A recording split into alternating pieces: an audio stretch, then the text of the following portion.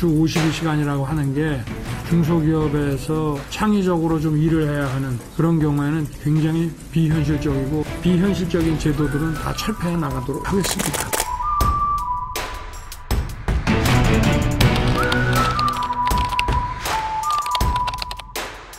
최저임금이 이렇게 경직되지 않으면 더 많이 고용을 할 수가 있는데 이 최저임금 때문에 고용을 제대로 못하고 또 이거보다 낮은 그 조건 하에서도 일할 의사가 있는데 그분들도 결국은 일을 못하게 되기 때문에 산업계의 의견을 충분히 듣고 어떤 결정을 하겠다.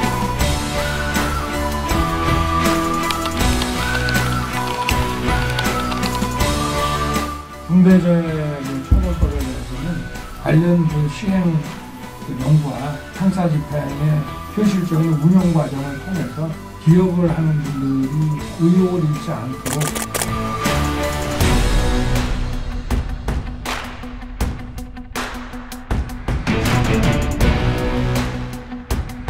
정부 주도에서 이제 민간 주도 경제로 완전히 탈바꿈을 해야 되고 노동 계약은 더 이상 미룰 수 없는 과제입니다. 기업이 자유롭게 활동하는 것을 방해하는 요소들이 있다면 그런 것들을 제거해 나가는 것이 가장 어, 정부가 해야 될 일 아닌가. 인수위는 공공기관을 단계적으로 줄여나가기로 가닥을 잡았습니다.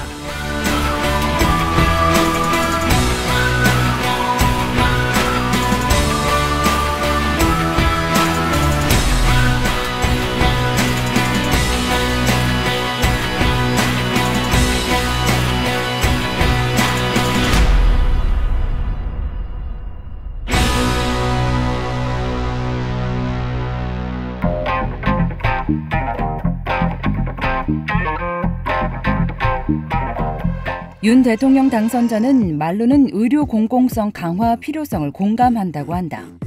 하지만 공공병원을 신축하고 의료 인력을 확대하는 것이 아니라 민간 병원에 대한 지원을 늘려서 공공병원이 해야 할 역할을 넘겨주겠다는 것이다.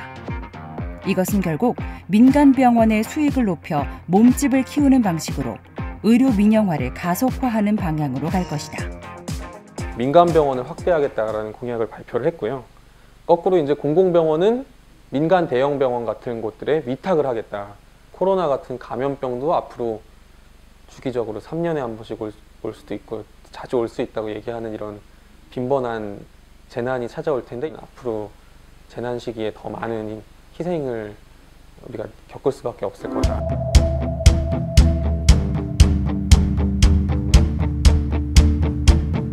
현재 우리나라는 신규 재생에너지를 공공부문에서 담당하지 않고 민간 자본과 외국 투기 자본에 맡기고 있는 상황이다. 태양과 바람이 주는 에너지를 더 많은 수익 창출의 목적을 둔 민간 자본이 운영하고 있는 셈이다.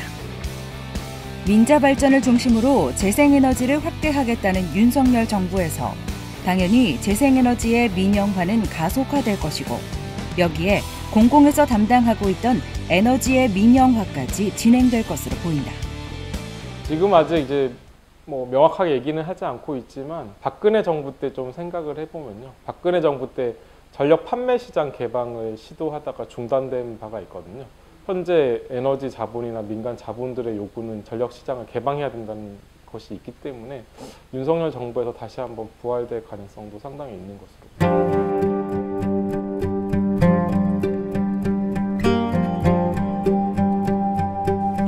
정부 주도가 아닌 민간 중심의 경제로 전환하여 윤 당선인은 공공부문 비정규직 정규직화 정책과 공공기관 확대 정책 등 국가의 책임을 높이는 데 비판적이었다. 인수위가 기획조정 분과를 중심으로 공공기관 구조조정을 검토한다고 알려져 있다.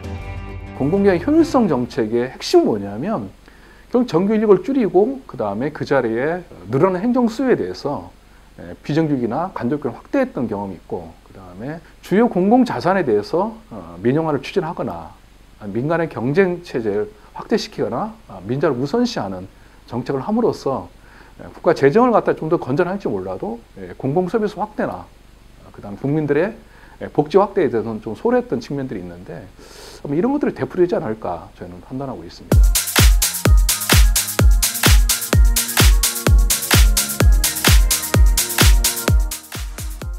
윤 당선인이 말하고 있는 세대 상생형 임금 체계는 고임금자는 성과급으로 저임금자는 직무급으로 모두의 임금을 낮추는 방식인 직무 성과급제로 임금 체계를 변경하겠다는 것이다.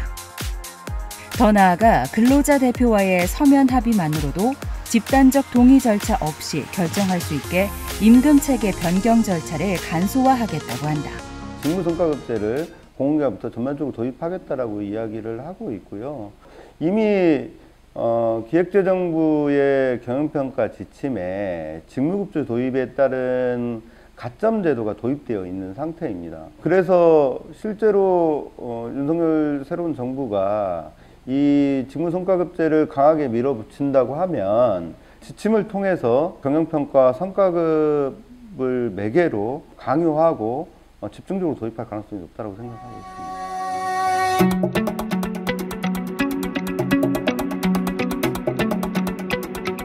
화물 노동자의 안전을 보장하는 안전운임 제도도 올해 일몰될 위기에 처해 있다. 운수 노동자들이 모든 물류 배송으로 확대를 요구하고 있지만 새 정부는 묵묵부답이다.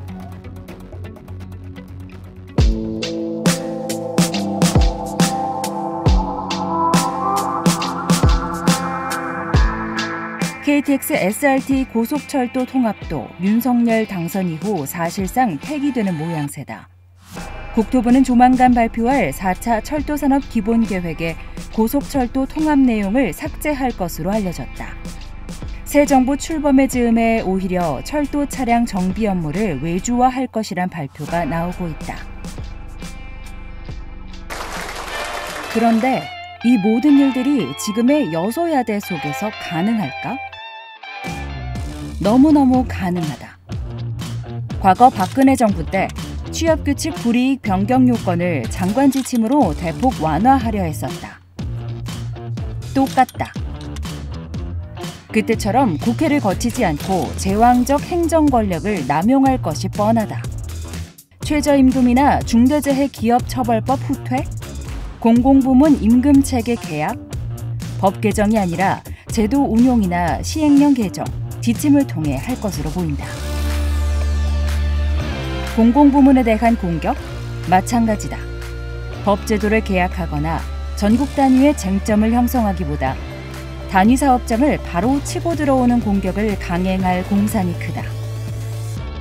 박근혜식 노동계약 시즌2에 이명박식 공공기관 공세 시즌2가 더해진 최악의 상황이다.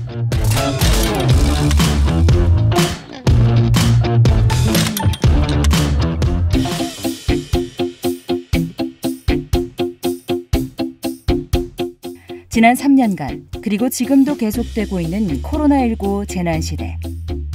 사회 공공성과 노동 기본권을 강화하는 것이 얼마나 중요한지를 뼈저리게 알게 해줬다. 세계 주요 국가에서 대규모 국가 개입과 적극적인 재정 투입을 통해 공공부문의 고용을 적극적으로 창출하고 있다.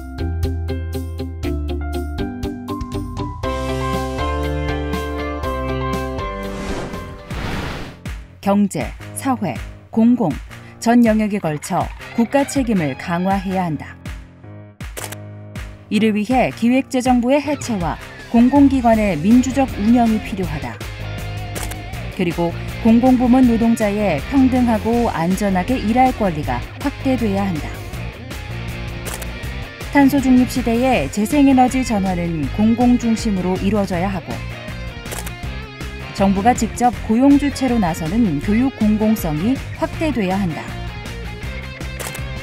공공부문 노동자의 실질적인 사용자인 정부와 교섭으로 단체 교섭권 또한 보장돼야 한다.